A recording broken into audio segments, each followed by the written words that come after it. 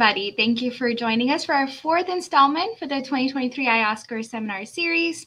My name is Savia Rana, and I'll be producing the show today. And if you haven't already noticed, it is a our third anniversary. So thank you for your support over the past three years. We can't believe how fast that time flew by. Um, so we have a very exciting and special seminar lined up for you today. Um, we'll have Dr. Jerry Silver joining us today. Um, before we do start, I have a couple of quick reminders. Please hit that like button and share our channel with anyone who's interested in SCI research. Um, as usual, the chat will remain open for the discussion um, throughout the talk, so please feel free to post your questions at any time and they'll be addressed during one Q&A session during the talk and one at the end. Our moderator for today is Chase Taylor from the Warren Lab in Kentucky. So without any further delay, the stage is all yours, Chase.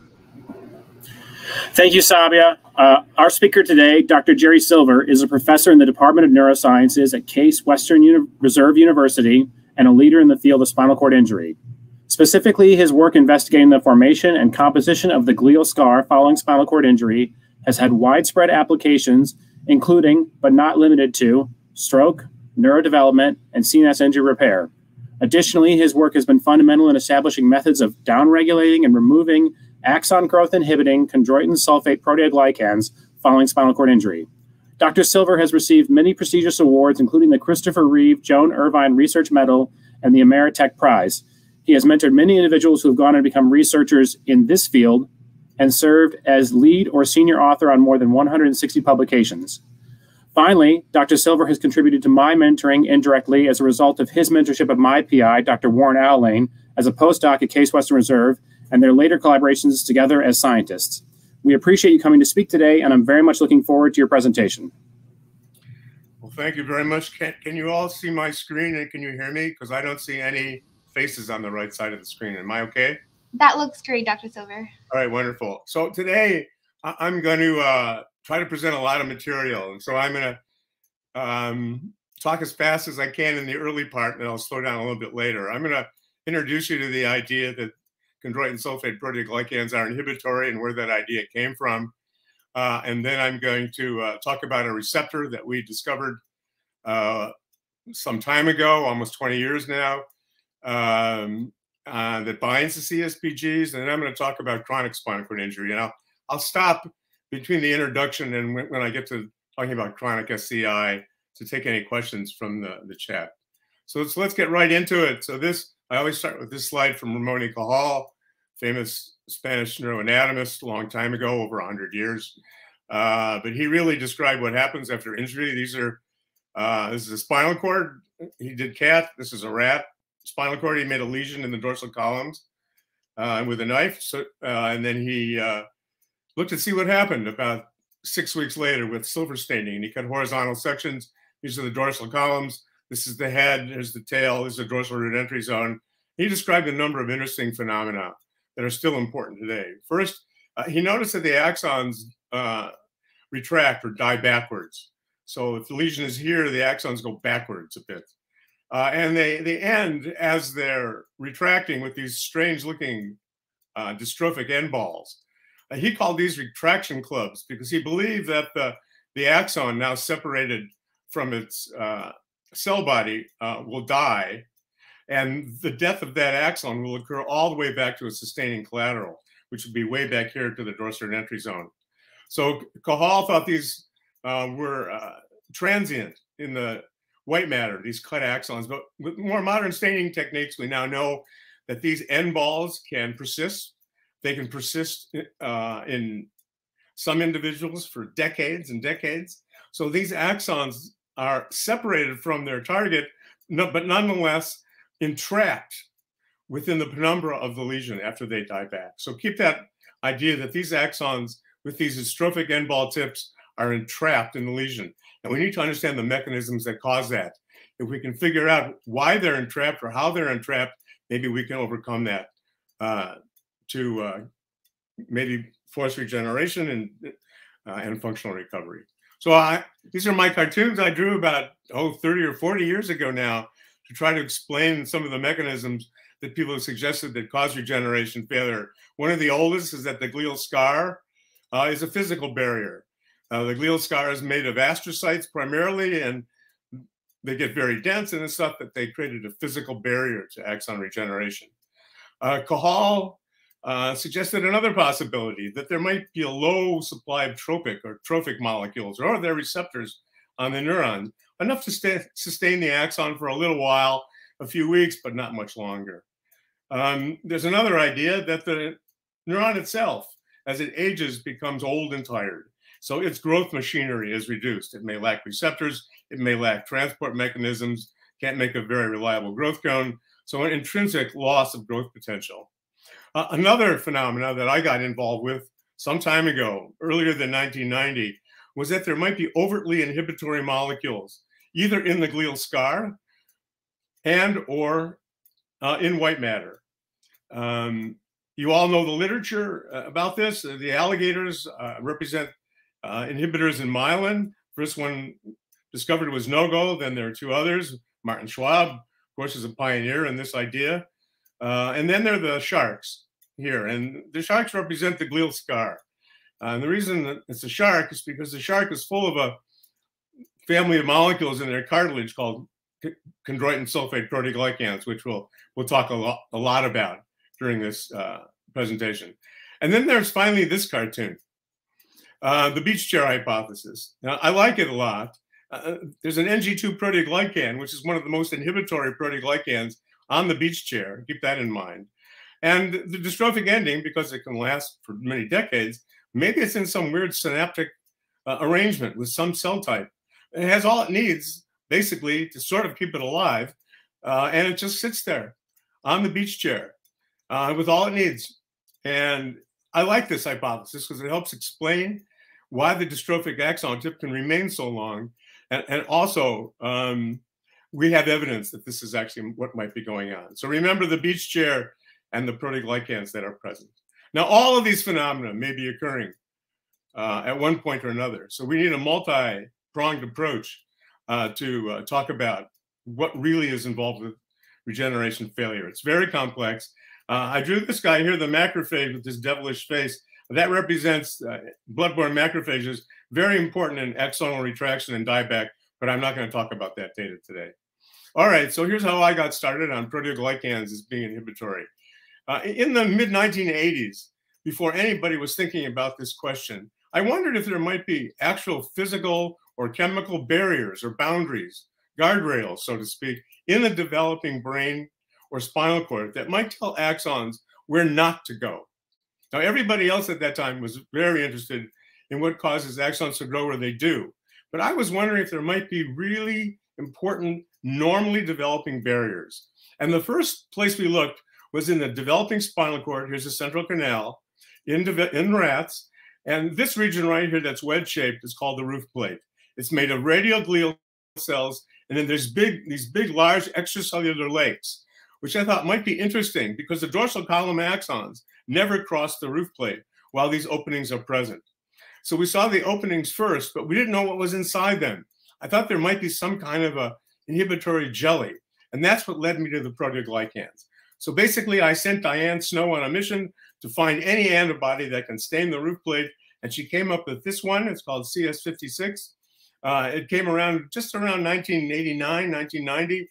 It stains chondroitin sulfate glycosaminoglycans wherever they are, and they were here in the roof plate only. It was so cool. So these holes were filled with some kind of a jelly containing some kind of proteoglycan. Now, this, if you don't know what proteoglycans are, I'll give you a little bit of a background. Uh, there is a fundamental backbone made of hyaluronic acid or hyaluronan, to which is linked um, the core protein of the proteoglycan, and it's attached long chain disaccharide sugars called glycosaminoglycans. So this is the proteo protein part, the glycan part are long chain disaccharide sugars called GAGs. They come in various flavors, chondroitin, keratan, dermatan, and heparan, we're going to focus mostly on chondroitin because that's what we found here in the roof plate. It seems to be the most important and most inhibitory of all the proteoglycans. So we looked in the spinal cord. Uh, we found these openings contained proteoglycans, but we couldn't, we didn't know if the proteoglycans were critical. There was no experiment we could do. We needed something that was alive. And so we turned to the ret developing retina as another model. This is a developing rat retina before the optic nerve fibers have grown, and we see this whole these spaces again. And interestingly, within these spaces, in a stage later in the retina, the ganglion cell axons always grow towards this region, but never towards the pupil. Why not? Might there be some kind of an inhibitor there? So this is Perry Brittis, who was in the lab at the time, and he looked at the retina over time in whole mounts. And you can see this is a flat mount of the retina at a very early stage of the rat when the retinal ganglion cells, stained with beta tubulin, are first forming. And notice they form kind of a lock and key configuration. Here's a, here's a later stage, E14 and a half. You see the proteoglycans that are in orange are receding, kind of like a wave going back out into the ocean after it's been on the beach.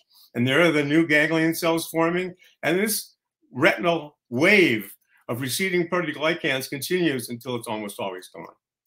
Now, the developing retina uh, generates retinal ganglion cells from the center out towards the periphery. It's a beautiful spatial-temporal gradient of differentiation. And if you look right here at this interface between where the, retinal ganglion cells are now sending out their axons, you see that this is a newly formed ganglion cell sending its axon towards the optic nerve, but never towards the pupil, which is out here. That's full of proteoglycan. So this neuron has a choice. Join your buddies who grew before you or enter the proteoglycan, and they never go in this direction towards the pupil. So we did an experiment, and this was the first use of chondroitinase that I know of in, in a living central nervous system tissue. You can keep the eye alive in vitro. Uh, it'll stay alive for several days. It's in a little orb, the lens is attached. And we thought if proteoglycans were critical in retinal development, we could just soak the living retina in this enzyme to see if the sugars were critical. We had already done some experiments in vitro to suggest that they were. Those were done by uh, Diane Snow. So we treated the living retina with chondroitinase for over a day during the developmental period I just described, and it really mucked about with retinal architecture. It was really amazing. These are control retinal ganglion cells, uh, stained with beta tubulin. They look like glia, the radial, that's another story. These are neurons, not glia, and they send their axons out here in the marginal zone where the proteoglycans were. If you chondroitinase treat the proteoglycans, uh, it just really messes things up. Axons grow in the wrong place. Some grow out of the pupil. There are polarity changes in the neurons, so really major um, um, changes in the retina, all pathological. That was the first demonstration uh, of the role of CSPGs in normal brain development acting perhaps as a barrier. Uh, people didn't believe this story. What's a cartilaginous molecule doing in the central nervous system? This just can't be true. There aren't. It just was not believed. So it took a long time for people to adopt and accept the idea, with lots of other people joining the field, that proteoglycans were critical. So, um, with this in mind, uh, I wondered if these barrier molecules that we believed were very critical in development might reappear after injury in the adult and play some kind of an inhibitory role in preventing regeneration. So just like Cajal, we made lesions in the spinal cord. This is, this is the dorsal horn. And in addition to doing that, to see if proteoglycans were present, which they were, this is the lesion. The proteoglycans are in blue a week after injury. You can see them in blue with the CS56 antibody that we described before, very strong in the center of the lesion, declining in a gradient as you go outward. That's because some of the triggers that come out of the blood that stimulate the astrocytes at first to make this uh, come out of the bleeding uh, vessels in a gradient and they stimulate the astrocytes. One of the important ones is TGF beta, but, but there are likely others. In addition to making the lesion and showing that proteoglycans are present uh, after injury, we did another experiment because don't forget at this time, uh, the idea was that myelin and NOGO, MAG, OMGP were the critical inhibitors, and the glial scar wasn't important. So Stephen Davies, when he was in the lab as a postdoc, uh, brought uh, a technique called microtransplantation. Basically, what this is is inserting very small numbers of adult neurons, fully adult, these would be sensory neurons from the green mouse into the adult rat in the degenerating white matter that is made by this lesion. No way if we do this, will these axons be able to regenerate? And surprising to us, and pretty much the rest of the world, was that these adult sensory neurons could send their axons both rostrally and caudally, if we waited a week or so, robustly. Here are the transplanted neurons, fully adult sensory neurons of the mouse in the rat, no cyclosporin, sending robust processes rostrally toward the brainstem and south caudally towards the lesion. Uh, this is very robust hair-like growth at about a millimeter a day. So it challenged the idea that myelin was such a potent inhibitor. But what happens when these axons got to the area of the lesion? So the experiment was that to make a lesion, we would acutely microtransplant. These are mice neurons in the rat, no uh, anti-rejection meds. So we got eight days to work until the nervous system figures out that this is a mouse, and then the, the inflammatory system gets rid of them. So we have eight days to work. We put the cells five millimeters rostral to the lesion. So we've got eight days to work. They grow a millimeter a day. They arrive at the lesion at about day five. We got three more days to watch what they do. What do they do? As these regenerating axons from these adult DRGs enter the area of the lesion, they go into, they invade the proteoglycan gradient all the way to the center of the lesion. You can see these interesting green little tips. And these interesting little tips, you see them here, uh, when magnified, look very much like Cajal's dystrophic growth cones. It's remarkable. And they become entrapped within the center of the lesion and they never get past. That's acute plus eight days. If we make the lesion three months old or even nine months old, allow the lesion to mature, it looks different. It has a central part here, very little astrocytes, a penumbra of reactive astrocytes, they're pink, and here are the regenerating axons. Even three months after injury, the white matter still allows for robust growth. You can wait a year and microtransplant, and they'll still grow in the degenerating white matter, although not quite as well. Now, what do the tips do? They tell us what's inhibiting them by just looking where they stop. Here's one that stopped right in the glial scar, the astrocytic region. Here's another one that stopped. Here's another one. Here's another one. So some of the axons actually stop within the glial scar.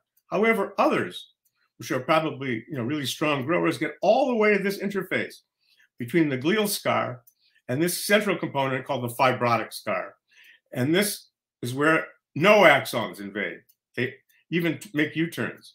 So this area is bad, and this area is worse. Right now in my lab, we're studying what's going on at this interface exactly it's coming up with some really interesting observations. So we're really focused on this. So this is bad. This is worse. So what's going on? Don't forget the axons are entering. So I, I want to talk about one more place where proteoglycans are present uh, and play a role in inhibition, and that's called the so-called perineuronal net. Perineuronal net, a, a network of proteoglycans around a variety of different adult neuronal subtypes uh, throughout the nervous system. The perineural net's very high in the cortex. It's present in cerebellum. It's abundant in spinal cord. Here's a cross section. Um, Sue Hockfield really brought this uh, idea of the perineural net back again from almost the dead by generating these antibodies to aggrecan variants, one of the biggest proteoglycans, a typical cartilaginous proteoglycan, clearly in the brain robustly present in the spinal cord of different types. And if you look at a high magnification of a neuron surrounded by the net, you see these little lacunae. They look like little cocoons. So what's going on here? This is what the net looks like. So there's a bouton there. This paper from Takahashi explains what the net really is. These are boutons from descending supraspinal projections upon ventral horn motor neurons, which is rich in perineural net. And every bouton is surrounded by a little astrocyte process. And that astrocyte process is decorated by the net. So the idea, based on our work, is that if proteoglycans in the net, stained by WFA in this case, are inhibitory, then if this bouton were denervated because of an accident, some trauma that cut the axon, this bouton that's still alive would have a hard time sprouting across the net into this vacated territory. And so this perineuronal net, now largely composed of aggrecan, was thought to be another barrier, but not a barrier for regeneration, a barrier for sprouting and plasticity from one synapse to another. So the scar and the net. So what happens after injury uh, to the perineural net? Well, it changes. So Warren Alilain showed several years ago, if you look at just normal spinal cord, stained with the CS56 antibody, you don't see much staining. It's a little bit brighter than this, but um, this is an extreme example. You hardly see any staining at all with this antibody. We'll talk about that more. But if you make a lesion at C2 now, and you look at the perineural net down here at C4, it just blooms with this antigen um, because of the lesion. So we are south of the lesion, which is here. We're looking down here at C4. And so there's an upregulation of some unknown proteoglycan stained by this antibody. It tends to be a particularly inhibitory form, which I'll talk about shortly. So not only do proteoglycans increase around the injury, they also increase in denervated synaptic targets, both rostral and caudal to the injury. So if you're going to get the axons uh, to function again, there are two ways to do it. One, you could regenerate this axon across the lesion or around it through the white matter back to its target in the gray matter. That's frank regeneration. That's one way to bring about functional recovery, regeneration. However, another way, of course, if you have a partial lesion, then it's possible that information right from this neuron, which is equivalent to information from that one, just slightly shifted, could sprout because send collaterals into the denervated territory, either themselves or via an interneuron to cross the midline. Of course, now the information is coming from the wrong side of the brain, but let's see if we can figure that out. So this is our typical lesion that we make. It's what Cajal made. Basically, proteoglycans upregulate all over the place, in the lesion, in the net, rostrally and caudally. So proteoglycans are really, really uh, expansive uh, in their upregulation. All right, let me tell you a little bit how proteoglycans work um, and tell you about uh, our receptor. So these are time-lapse movies. It's a time-lapse movie of adult uh, CNS neurons. These are DRGs. I'm sorry, adult sensory neurons growing on laminin. This is sped up about 200 times. Just look at the dynamics of the filopodia and how the growth cones move over time. But they don't get stuck. They don't get stopped. They um, project, protrude, and then they come back. That's that's normal growth on laminin of an adult sensory neuron. So I asked Veronica Tom when she was in the lab to generate a gradient. Why? Because we saw a gradient of proteoglycans in vivo, if you recall. And so maybe that's important. Maybe geometry is critical. And so I, I'm low kind of a technological guy, um, not no high tech. I, I thought, well, maybe we could make a gradient uh, using coffee rings. Um, if you didn't know this, and actually the physics of coffee rings was not really spelled out until about 2011. Um, a coffee ring is a beautiful gradient. If you make it with coffee, you get coffee increasing out in the ring. But if you use proteoglycans like aggrecan in red in a ring, mixed with growth promoting extracellular matrix molecule laminin, you get bidirectional gradients in the ring. You get increasing proteoglycan, CSPG, that's the CS56 antibody, this is aggrecan going out, and decreasing laminin, less and less green. So you get bidirectional gradients. That's the physics of coffee rings, using laminin, growth promoting, and an inhibitor. The reason we put in laminin to show that proteoglycans are inhibitory, you need something that's growth promoting to inhibit, to show that this is potent, not just um, something that's uh, barely uh, permissible to axon growth. So we add laminin. Now, when we look at the neurons uh, that we add, we, we see two phenomena. These are the adult sensory neurons approaching the ring from the outside where laminin is present. When they get to this very sharp interface, kind of like the roof plate during development, the axons all turn, turning behavior. Now, we had described that in 1990 uh, in vitro.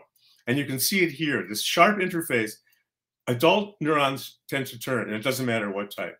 However, if you're a neuron that ends up here on the inside of the gradient, and you can sit down and attach to the proteoglycan, these axons now grow into the gradient, just like the axons did in vitro, in vivo in our microtransplant story. And you get this frayed rug look. And if you look at growth cones now, they come from the inside. A completely different biology develops than what happens at the outer edge. Now the growth cones enter the rim from the inside, and when they get to about the middle, they stop. And they become incredibly adherent, almost like a fly on fly paper. And I'll show you more of this. And their tips look very much like Cajal's dystrophic end balls. So we finally had a model of the dystrophic axon that looked like the one that develops in vivo. So we were pretty excited about that. All right. Why? Let's ask this question. Why, why do growth cones even enter the gradient? Why don't they just turn away? Why do they even grow in at all? And this changes the way that we think about the way proteoglycans are inhibitory. And we did that by um, mixing various proteoglycans with various adhesion molecules like laminin or fibronectin. And that was all done by Angela Filous when she was in the lab. She's a graduate student. We made these um, 90 degree turn stripes. And the reason we made 90 degree turn zigzag stripes is because if an axon makes the turn, right, around, the bend, it must mean that it, it likes that surface. It prefers that surface. All right. So we mixed aggrecan or the NG2 proteoglycan with laminin or fibronectin at various concentrations. So the neuron would sit down. Now, here's the important part. If the neuron sits down on the proteoglycan, as it did in the spot gradient, it sends its axon on the proteoglycan, preferably. I'll say that again. When the neuron could sit down on the proteoglycan, this one happens to be NG2, if the balance is right, it sends its axon and becomes addicted to the proteoglycan surface. It will not leave. And you can see that here. Many turns and bends. If the neuron starts here on fibronectin, enters the lane, uh, and makes a turn, it can go off. Right? It can go on and back off. But once on for a long enough time, it becomes addicted. What's important for the addiction? Is it the proteoglycan or might it be the laminin? If it, the proteoglycan is critical for this addiction phenomena, then getting rid of the proteoglycan with chondroitinase, digesting it, might free the neuron. And that's exactly what happened. So now these neurons are growing on the spots. They prefer the proteoglycan lane until we chondroitinase treat, we chase treat. Now the axon can come off. It's clearly the proteoglycan, not the laminin or fibronectin that's critical, and that's all quantified here. So there are so from crossing from green, green to black, very rare, unless you chondroitinase treat, then it's far far more common. Um, that's here, right? No treatment going from black to green, no problem. They can come back off again. So it's clearly the sugar addiction. All right. We've talked about molecules in vitro. What are the cell types in vivo to which the axons are interacting that mimic or mirror the work I just showed you in vitro? So we took a very, very close look at precisely where the end balls were when we made a dorsal column lesion in the rat. So this is a crush injury to the dorsal columns. It's a horizontal section a week later, stained with a variety of antibodies, one to the proteoglycan NG2, another to vimentin, and another to, nest, to nestin. Markers like this are in stem-like cells, precursor cells. Uh, and our, thinking was that there might be some kind of a stem-like cell in the lesion. And if you look at the lesion, it's filled with these markers, NG2, Vimentin, and Nestin. Now, what cell type or cell types make this to fill the lesion? So this is the core of the injury site, which is kind of spherical, And as we get into the dorsal columns, both rostrally and caudally, you get these little long necks, right? The same cell type. So the lesion is kind of fishing bobber shaped. When you make a crushed lesion of the dorsal columns, this happens to be in the rat. And if you look very carefully at where the retracting axon tips are, the lesion is here. They've retracted back into the net, and they sit very care- closely on the NG2 glia, a purportedly inhibitory proteoglycan. So remember, we just talked about the beach chair and entrapment, and that's where the axons are. This observation was first made by, uh, by Dana McTigue very early on. It took her years to get this paper published. How is it possible that the axon tips prefer the inhibitory proteoglycan? But remember what I just told you about entrapment. Who are these cells? Well, these cells not only make proteoglycan, they make buckets of laminin. They make laminin, they make NG2, they make vimentin, right? And they also make nestin. Who they are is likely to be oligodendrocyte progenitor cells, or OPCs. Another cell that makes all these different uh, kinds of proteins or proteoglycans are pericytes. Uh, so there, it, it, may be one cell type or another.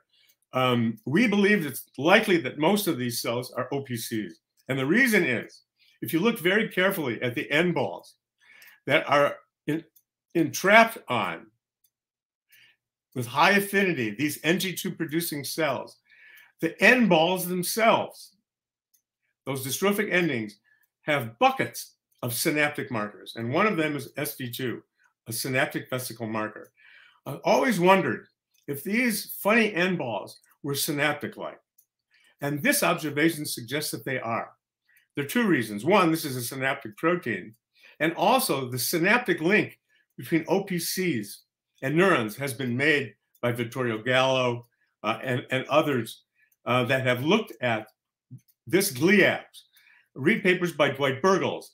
So normally, axons make synaptic light contacts with OPCs. Normally, that's a normal job. But here, the OPCs are not where they ought to be. They're right in the lesion. And that's where the axon comes to rest, makes synaptic proteins. There's the beach chair. And we think that's likely to be uh, the OPC. All right. And so the axon's relatively happy. You know, it's got what it needs. It's got laminin. It's, it may have some trophic support. And it just sits there. It's a little funny smile on its face. So to summarize all of this, there's a lesion. The axons get attacked by inflammatory macrophages that drives them backwards, which I didn't talk about, but that's all published. The axons are driven backwards until they hit a population of stem-like cells, either pericytes uh, and or OPCs. Uh, there's synaptic machinery present. There's a proteoglycan upregulation, and they make a little synapse. Uh, and that's what they said. And I call this synaptic doom. So this is the this is the mechanism we believe that leads to the entrapment all right, at least at the cellular level. Now, what's causing this adhesion? Who's causing it? What's the molecular mechanism? And we had really no idea for a very long time. We had discovered the inhibitory nature of proteoglycans uh, in the, in the mid 1980s to the early 90s, and we had not described the receptor for almost 20 years. And fortunately, in 2009, I teamed up with John Flanagan who thought he may have found a receptor. Uh, that was so exciting. It turns out to be protein tyrosine phosphatase sigma, a tyrosine phosphatase. It's a member of three uh, receptors of the so-called LAR family. LAR is the second member, and there's a third one called delta that we don't know very much about. So this is a receptor protein tyrosine phosphatase. It's the sigma variety. It binds very, very tightly to proteoglycans. It's part of the LAR family, which had long been described as a family of receptors that binds heparin sulfate proteoglycans that leads to strong adhesion and synapse formation. So these were synaptic-like receptors thought to bind only to HSPGs, uh, playing a role with CSPGs. So that was very, very exciting. And so, so it's a bifunctional receptor, which we'll talk about shortly. Now, I want to explain just one more point before we get into the receptor itself. So these are the three members. The ligand, which binds most tightly to PTP sigma, is the sugar, and it's particularly this one called CSE. Now, these glycosaminoglycan disaccharide ch chains uh, uh, have mixtures of um, rings of carbon that are sulfated at different positions. And it turns out it's the E unit that's sulfated at the four and six position of GalNAc, which is one of the disaccharides. That's the bad guy. Not the others. CSE, it binds very tightly to this receptor. Indeed, it's now thought it might even be just this little 4 sulfate right here. This one little stupid sulfate could, could be all the problem, not necessarily the six. So something about this 4 sulfate right on CSE is the is the bad guy, and it's very rare. Doesn't pop up all the time, but the CS56 antibody sees it beautifully. So it's an upregulation of this. Okay, so the receptor is rare. It pops up after injury. It binds tightly uh, to the receptor. And if you get a knockout of PTP sigma, we showed that these axons can actually cross the rim, which is really exciting. So let's uh, talk a little bit about the receptor, what it does when it's in our coffee ring assay. So now here's a, an adult sensory neuron growing into the ring. And notice as it does, it becomes incredibly stuck. Look how stuck these processes are. It's really remarkable. Hours and hours, they'll just sit there struggling like a fly on flypaper. When they do that, the sticky receptor, sigma, increases in the growth cone as it enters the gradient by almost double. So the sticky receptor is going up. All right, a little bit more about how it works. Remember, I told you that the receptor is bifunctional. It was thought to be an adhesion molecule that binds to HSPGs. HSPGs, right, are also present in the injury site, and their um, ligand, the ligand that HSPGs produce, is in great abundance. And so, because there's so much of it, the receptor, PTP sigma, clusters. So it's together, it's clustered or dimerized. That's off, inactive, not sticky. If the receptor sees CSE, which is rare, it's monomer. And when it's monomer, it's on. That means sticky. And the more receptor, the stickier you are. Okay, so it's bifunctional, clustered or non clustered. An important part of this clustering phenomena is produced by this area on the other side of the membrane called the wedge. Somehow it's involved in this clustering phenomena. That's off. So what we thought we would do to attack the receptor uh, is to fool the receptor into thinking, so to speak. It was talking to HSPGs, which says go, more growth. And we would flood the nervous system basically with wedges. And we would do that with a peptide. So thanks to Brad Lang, Jared Craig, we developed a peptide, all right, to the wedge region of LAR to sigma, and we also had one to delta. And we put a TAT domain on it. So the peptide can cross the membrane. So it's a TAT peptide. One to sigma, we call intracellular sigma peptide or ISP. One to LAR, we call IL. And we use that in our in vitro spot assay to see if we could wake up the growth cone from its synaptic doom. And so we added the peptide to our spot ring assay in various concentrations. And this is our sigma peptide blocking um, peptide. And you can see the growth cones on the rim, not getting stuck. So they, they can die back, but they always wake up. And like little ever ready energizer bunnies, they just cross the rim and they go right across. So that's cool. Well, what about in vivo? What happens after spinal cord injury? So what we did was to lesion the spinal cord with the Infinite Horizon device, which you're all aware of. We hit the spinal cord as hard as we could, 250 kD. It produced animals that were at a score, a walking score of around 10 or so. We, our goal was to wait a day after injury so we could get to the hospital, treat with peptide, and we would give this subcutaneously a TAT peptide, we don't need to hit the spinal cord directly. We would deliver it subcutaneously. We had no idea what uh, concentration to use. We, we picked 11, which was our most, we just picked 11. And we gave the peptide for seven weeks. We stopped. We did tests of behavior. We looked at urination. We did another variety of tests. And then finally, at the end, we looked at bladder function.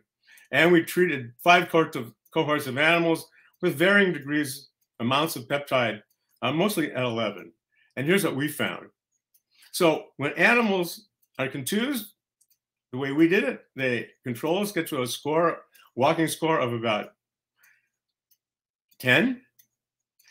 The ILP, ILP peptide had no effect, but the peptide to the sigma receptor did. At the concentrations that we use the most, which is 11, we saw a very interesting phenomenon. One, we had responding animals, and we had a whole variety of non-responders. And the non-responders then um, are added to by these incredibly strong responders. That brings the average to about 13. That was at 11 micrograms per day. However, what happens if you use more? And this was done by a fellow named Doychin Angelov. This is an independent experiment. They contused the animals much more strongly. So the BBB score uh, is at six. It goes with their injections of peptide at 500 micrograms per day, 50 fold more. Their animals get to a score of around 15, which is really, really remarkable. Nine point difference, which is very outstanding, uh, very surprising. And here's some movies provided to me by uh, Doychin. Here's the control rat, walking on the balance beam. Here's a control rat climbing up a ladder. That's what they do in the Angelov lab. And so this is a six uh, on the BBB scale. So very little movement of the back limb. Tail is down. Hardly can use the back legs. Here's their, this is their movies. This is a treated animal after two months. Really remarkable ability to walk and a remarkable ability to walk up a ladder. Watch this one. So cool. So what's going on? Um, there is a definite amount of serotonergic sprouting that occurs after injury. We did not see changes in the lesion itself, but we saw this bizarre serotonergic like sprouting phenomena that was very, very prevalent in the responders. If you block serotonergic function, some of the recovered behaviors went away. I'll show you what these things look like. Here it is, these lava lamp like shapes uh, that occur in spinal cord injury. Now, this is acute injury. I'm going to skip the next slide and talk about chronic and ask now uh, if you have any questions. Uh, so this is this is the background. I'm going to talk about spinal cord injury in the next uh, five to seven minutes. If there are any questions now, uh, please ask. Uh, hi, Dr. Silver. Uh, we have at least one question in the chat here. It looks like one that's maybe been answered. Uh, Hugo Kim asks, is there any known local gene expression, local translation, in growth cone related to the addiction behavior of the axons? Oh, that's very interesting. Um, we haven't looked at genetic changes in uh, the messages for the LAR family receptors. Uh, we don't know if those are, are increased. That's a very good question. But we really don't know at the genetic level what's happening in terms of this addictive phenomenon. But I'm certain uh, that it has something to do with either shipment of the receptor that's already there or increased production locally, perhaps in the growth cone. Great. Uh, I actually have one myself as well, kind of relating to the stuff that was just gone over with the uh, PTP Sigma. So I was reading an article in Science you co-authored in 2015, and you mentioned a systemic cocktail to enable neuronal growth cones to bypass inhibitory components of the extracellular matrix. Uh, the article was specifically on epothilone B and its potential inhibitory effect on fibroblast migration combined with stabilization of microtubules. Could this this new protein tyrosine phosphatase receptor inhibitor be an important component in that cocktail if we were to pursue that route? And then for that proposed combinatorial treatment, uh, what, if any, additional drugs would you consider utilizing?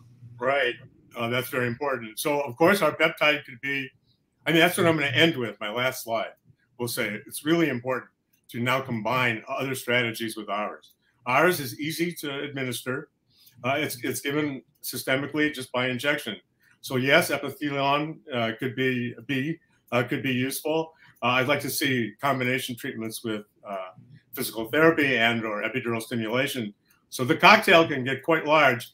We are now focusing uh, on the fibrotic scar in, in, our lab and some of the molecules in the fibrotic scar that can also be important. So I think it's going to be important to deal with both glial scar and fibrotic scar simultaneously. And we're, we're working. Awesome. Uh, I've got a question here from Stephen Crone. Uh, so, is increase in CSPG found on both sides of the cord after C2 hemisection or just the side of injury?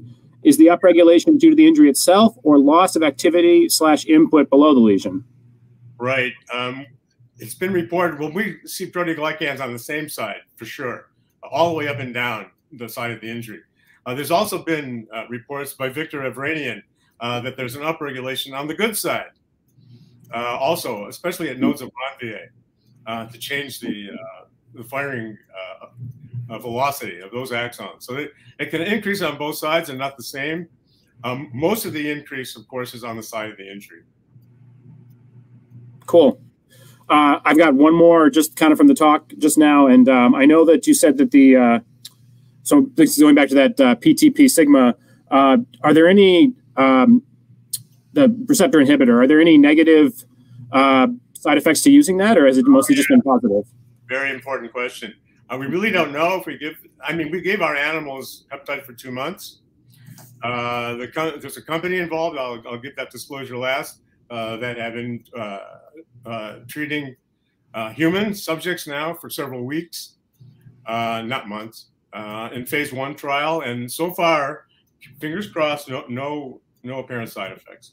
No loss of memory, no, no arthritis, which I was worried about. Uh, sleep disorders, people aren't reporting. So far, so good. Awesome. All right. So I, I want to tell you about I want to tell you about chronic injury because uh, that's really cool. Let's let's roll right into it. Yeah. So what about chronic? This, this is very tough. These are high risk, incredibly expensive uh, experiments. And I, I want to thank uh, my collaborators uh, who have helped me. Uh, work on chronic spinal cord injury started um, by a really interesting, uh, I guess let's call it an accident. Uh, Warren is a great guy. I know he's not listening to this now because he's doing something else. But Warren had, had, generated some C2 hemisections because he was interested in diaphragm function.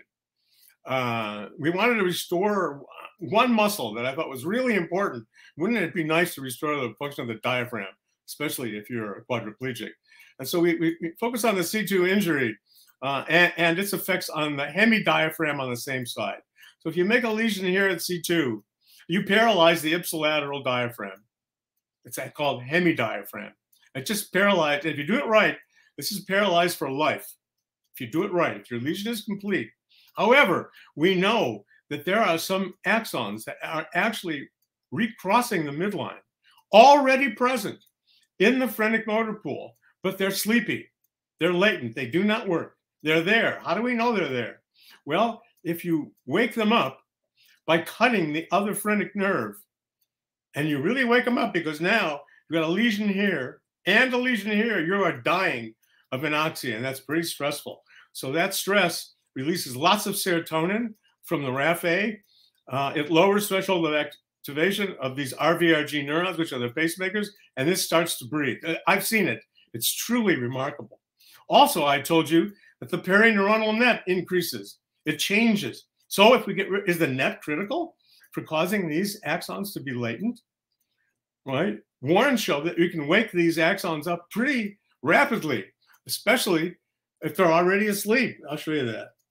So so yes. So if a if a neuron is already stuck and entrapped in the rim, making lots of the sigma receptor, uh, and if you add chondroitinase, you can wake it up, even if it's already been stuck.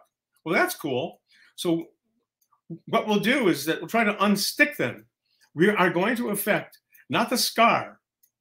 We're going to affect the ventral motor pool targeted to the diaphragm, which is the phrenic. And we would just simply inject chondroitinase in these animals that Warren had forgotten. I mean, we have done this experiment before, acutely after injury, and we didn't see any change. It was hardly effective. So if you make a lesion here and, and you acutely inject here at C4, you do this rapidly here, here, uh, we saw almost nothing. But in these animals that Warren had forgotten, we saw remarkable effects. And indeed, the effect on the diaphragm was robust, almost essentially normal recovery of EMG activity, but it took a lot of time to get here after injury. So if you treat right away, or even after just a week, you don't see much activity. But if you wait three months, maximal activity. You, and that increases the longer you wait. So if you wait a year and a half because of our mistake, and by the time it took to get Pippa Warren into the lab, it was about a year and a half uh, after injury. These were old, old paralyzed animals, and the diaphragm was completely silent, even a year and a half later. If we add chondroitinase, right, a year and a half after injury, you start to see recovery already, at, probably even before one week, which blooms to almost essentially normal recovery of function. It was pretty amazing. A big increase in serotonin. I'll show you the diaphragm. I'll show you how it's working um, and actually see the muscle recover. So these are films of the diaphragm in control animals that have a hemisection. Now you're looking from the abdominal surface. This is just saline. This is the side that's good on the left, it's contracting. And this is the side, the hemidiaphragm, that's paralyzed. It's being stretched to the left. There's another one, right? We used intermittent hypoxia, but don't worry about that. See this membrane, it stretches. But if you give the chondroitinase and you wait a little while, then this diaphragm comes back. You can see it squeezing. And this membrane is stationary. It's really remarkable recovery. And what was really cool is that we not only saw some recovery of the diaphragm, beautiful recovery, indeed, in most animals, especially if they were old, we also saw effects on the forelimb. Right? There was some recovery of forelimb behavior, even though we injected our animals at C4, which is the right region for the phrenic motor pool, there was probably some enzyme that kind of diffused caudally to the cervical enlargement, and we saw some recovery of hand function. So now I want to tell you about what we're doing now uh, on, for, on forelimb. And so this is a collaboration. So don't forget, we've got to wait at least several months before we get nice activity recovery of the diaphragm and of the forelimb if we use chondroitinase. So three months at a minimum, we would wait. The longer you wait, the better. Keep that in mind. The longer you wait and target chondroitinase to a particular motor pool, the longer you wait, the better the response in our hands. But this is a chronic spinal cord injury, and we're going to target hand function arm function, not the diaphragm. We're going to make C2 hemisections. We're going to wait three months. And what are we going to do? So I thought maybe a double punch. We would use our peptide to inhibit the receptor, but we could also inhibit the production of the perineuronal net proteoglycans themselves with the use of this drug called hymecromone. It's been around forever. It's 4-methyl umbelliferone. Its job or what it does, and it's been approved in Europe for many, many decades to pre prevent scarring in the bile duct. So Jessica repackaged it at a higher concentration, and we call it perineuronal net inhibitor. And what it does is to block an enzyme called hyaluronan synthase, which is the formation of hyaluronic acid, which is the backbone, as I told you already, for the perineuronal nets, which are attached the proteoglycans, there's tenascin involved. And so without hyaluronic acid, no net. And so what we would do is to lesion the animals at C2. We create a Brown-Séquard-like syndrome in the rat. We would wait for three full months, and we would treat with one or the other or both to make our cocktail. All right. So this is another thing we've added to the peptide to help a double punch, inhibit the receptor and the synthesis of the proteoglycan This is work done by Jessica and my graduate student, Adriana Milton, who just submitted this paper. So we're trying to get rid of the net. This just shows that it works. I want to move quickly so you can see the movies. And I want to show you what happens to walking. So we use the Shumsky four-limb walking score. It's very much like the BBB scale, except it's for the four-limb. All right. Um, here's the normal animals, right, at around 17. Right, that's baseline. So it's a 18 point scale, right? You make a lesion, the animals drop down in their FLS score, but over time, of course, they recover a little bit. That's normal. That's what you expect. They baseline at around eight on the Shumsky scale, which I'll show you in a second, and that stays that way. However, animals that are treated with either PNNI, IST, or the combination all improve. And remarkably, this improvement starts to occur, although it's not significant, right away, just like the diaphragm. And then the best animals, the most consistently recovered animals, are the combination treated. And they get they can get to a walking score uh, that's pretty remarkable. On average, though, to about 11 or 12. Now, here's a movie of a control rat walking.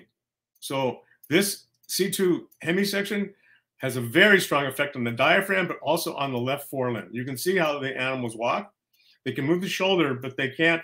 It's very difficult for them to spread the toes. They, they tend to walk on the top of their foot. Just watch that. So that's an eight on the Shumsky scale. Okay. Now here's a rat that's done really well. It's not our best rat. Really nice recovery there's a lot of variability, but this but they can they can achieve really remarkable scores. So this animal is around a 16. All right. So humans, of course, people with spinal cord injuries want more than just gross ability to walk. Uh, they, they want to use their fingers. They want to use their hands. There's very little work on hand function after chronic spinal cord injury, uh, targeting uh, a biological basis of recovery. And so the same animals that we looked at gross behavior, we looked at forelimb function in the digits. Now, rats don't really have a proper thumb. They have kind of a nubbin, and they have really dexterous movements of the digits. Remarkable, actually. Uh, and they love to eat cereal, like Froot Loops. Uh, and so we test the animal's ability to eat a Froot Loop or um, um, around like a Cocoa Puff, and you score them. You give them a score, and that's the so-called IBB scoring system, which ranges from zero to nine. So it's a 10-point system. And if you look at the control animals, right, on the IBB scoring system, they get to a score of about two. I'll show you the movies. Individually treated animals, unlike before in crude walking behavior, get a little bit better, but this is just a trend. It's not significant. But the very best animals are these that got the combination, right? So the animals start to recover slowly. They don't recover finger function so fast. And then they get to an incredibly high score in some animals. And I'll show you some of the highest scoring animals. So on average, they're the best. So they go from about a two, right, to somewhere around six with some real superstars. And I'll show you the last movies. So this is the this is a rat Normal rat eating, they love Froot Loops at 50% speed. Watch the fingers, watch the thumbs, watch how the cereal is manipulated. So the fingers are shaped to the shape of the cereal and they make movements of the cereal while they eat it. That's typical of a normal rat. They love Froot Loops.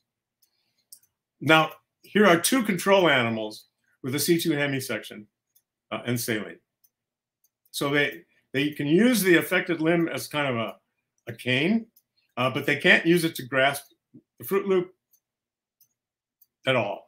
It always sits here. They can make subtle adjustments uh, that are very gross with the paralyzed limb, but they, they can't use the fingers. Of course, that's a big problem. But they, you know, they love Froot Loops, so they can use the good hand. All right, now I want to show you one of our recovered animals. This is not the best. It's pretty remarkable. So she's around uh, six or seven. You can see shape of the fingers around the cereal, not exactly parallel. Is there something else I can help with? And there she goes. Really nice recovery. Very exciting. Really exciting. So what's going on? Basically, what we're seeing is a serotonergic sprouting, which occurs a reduction of the perineuronal net in the region where the serotonergic sprouts are occurring on the ipsilateral side, beyond that, which is on the control side, which has much more net. This is quantified here. So basically, loss of perineuronal net, even in the peptide treated animals, keep in mind why. You expect it here, but you might not expect it there. And an increase in serotonin. What we have not found yet is the most obvious um, change that we'd like to see is some kind of sprouting of the cortical spinal tract, but we have not seen that yet. So basically, uh, right as of now, we still don't know the exact anatomical substrate that's involved with this remarkable behavior, but it's going to be exciting for the future. So to summarize Cajal, uh, he was pretty negative. He said everything can die, nothing can be regenerated. And I've shown you today, I hope, that even long after spinal cord injury, there's a possibility of sprouting and or regeneration. Uh, the recovery can be remarkable. Could be due to uh, axons that have already sprouted and are sound asleep. And we'd like to combine our peptide with additional strategies so we can move forward with even more optimal approaches. I just want to report that uh, there's a clinical trial going on right now with the peptide. Uh, this company, NervGen, has licensed our techniques, uh, our strategy, and has finished phase one uh, with pretty good success. So with that, uh, I'll end. And if there are any other questions, I'd love to take them. Awesome talk, Dr. Silver. A few questions here. So first one I want to go over is uh, from Maria Jose Metcalf. So the question is, is there a specific timing for treatment that can promote appropriate rather than aberrant connections with combinatorial approaches such as chondroitinase, chondroitinase combined with rehabilitation? So um, aberrant or unusual behaviors, right? That's she's asking. Mm-hmm. What's the optimal time? Uh, so we found that if it wasn't so much time, the, the longer you wait, at least in this hemisection model, the better the recovery. I keep saying that. That's likely due uh, to sprouting of axons that have occurred uh, during the waiting period. But those axons are completely smothered, their activity, somehow by the net. So, what's the optimal time? Probably the longer you wait, the more connections you get. Now, what's the optimal amount? Um, can you do too much? And if you read our uh, robust recovery of diaphragm function, uh, Pippa Warren's paper, we found that if you push the animals too hard, if you give chondroitinase plus intermittent hypoxia and you really drive the serotonergic system, you can get very abnormal, aberrant, spastic-like behavior. So you got to take it easy. You don't want to push too much serotonergic sprouting because you can get into serotonergic crisis. So exactly what the optimal time is and the optimal amount of rehab is, we still don't know. Perfect. so Liz Bradbury asked, um, could the pulling of the paralyzed diaphragm be causing some kind of plasticity similar to activity-based training, which might contribute to the increased response in the chronic spinal cord injured animals? Right. That's a very important, very important point. I mean, is the diaphragm is a diaphragm special? Now, I just told you that the fingers aren't so special. So if you wait three months, they're paralyzed, uh, they've atrophied, and they can use they can start to use their fingers again, uh, and that and that hand has been just dragging along. Uh, it's being stretched as the animals walk. Uh, so that so those those muscles can rebound after three months, at least enough to pick up a piece of cereal. Now, now the question uh, that Liz asked is a really critical one. What if you do something else to the muscle uh, that that normally we don't do, except if you're a diaphragm, which is to paralyze one side, which now stretches the other side on every single breath, and that and that stretching of the muscle may surely uh, have an effect on the nerve muscle junction, uh, upon the ultrastructure of the cytoskeleton of the muscle itself. Uh, and I know Pippa Warren is uh, is very interested in, the, in that uh, behavior. That's that constant, you know, every breath stretch uh, could be very very special. If it is special, uh, it might be you know it might be important to, and if we have a treatment to make sure people keep their muscles strong uh, after spinal cord injury. That that's basically what. And if stretching turns out to be one way to keep the muscles strong, so be it. That would be great. Perfect. Uh, Wolfram Tetzlaff asked, uh, he said, great talk. Uh, why is uh, the ISP reducing the perineural net? All right, that's an important question. so um, we reported in a couple of papers an interesting downstream effect of the peptide. And one of the downstream effects of peptide administration to cells that have the receptor is the increased secretion and release of matrix degrading enzymes. So normally cells, neurons included, OPCs can slowly migrate across the net. They can sprout very slowly, even in the presence of the perineuronal net. And as they do that, they release a little bit of certain proteases that break down the bad guys, the inhibitory matrix. They release MMP2 or they can release cathepsins. And we showed that in the presence of the peptide, those enzymes that are normally made in low abundance are dramatically increased. So the peptide treated growth cone is spitting out buckets of enzyme that's degrading uh, the net. So where the sprouting occurs, the net is also reduced. So in the presence of the peptide plus PNNI, uh, we really didn't see you know, even more reduction, although we haven't analyzed things as carefully as we could. So production of specific enzymes directly directed to the inhibitory molecules. Interestingly, uh, the axons, at least in vitro, do not digest the laminin, just the proteoglycan, and away they go. Perfect. Uh, one more in the chat, and then I've got one. Uh, so this next one's from Megan Detloff. She says, uh, if you had to speculate, what tracks could be mediating the recovery of forepaw function? Well, um, we, we, took a look at the cortical spinal tract, of course. Um, we're seeing it, and I'm not going to talk about it very much, seeing some interesting changes uh, in the inflammatory system in the CST, the dorsal one, dorsal medial, uh, we did not see any regen frank regeneration across the lesion, and we did not see what I would call robust sprouting, uh, uh recrossing the midline. So what the substrate is, I just it, it could be it's it's likely to be some kind of propriospinal uh, relay network uh, that that has been set up, and or uh, cortical spinal tract that we haven't we just haven't labeled strongly enough. So at the end, at the end, we, we just don't know we're looking.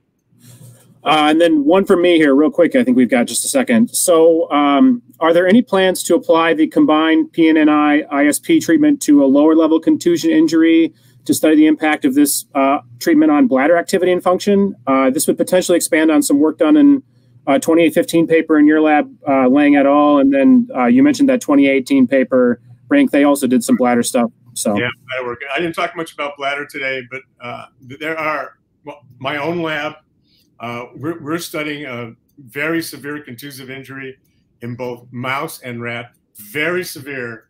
Uh, the peptide by itself doesn't do that much. Okay. Uh, we, we, are combining uh, our combination therapy, and we're also very interested in fibrotic scar, glial scar, uh, simultaneous uh, inhibition in, in, that model. Um, um, for uh, in terms of bladder function and contusive injury, uh, there's a, a, couple of labs around the world. I know Martin Oudega uh, is very interested in contusive injury and bladder recovery, uh, and Karim Fouad. Uh, he's also uh, looking at peptide in a contusive injury. So three labs that I know of are looking at the role of this peptide and or combined with other things in contusive injury. And of course, anybody who's listening or reads these papers is, is welcome to add any injury that's more clinically relevant than the Brown-Séquard model. Awesome. That was a great talk. Thank you so much uh, for presenting today. I think uh, I just want to quick drop a note for May 2nd. We're going to have two presenters, uh, Dr. Anastasia Zarko and Dr. Homaira Nawabi will both be presenting. So that's uh, a little, little less than a month away. And then I also wanted to mention that the uh, GRC conference, I think it's in Tuscany here, is also happening. And I believe there's uh, abstract deadlines coming up for that as well.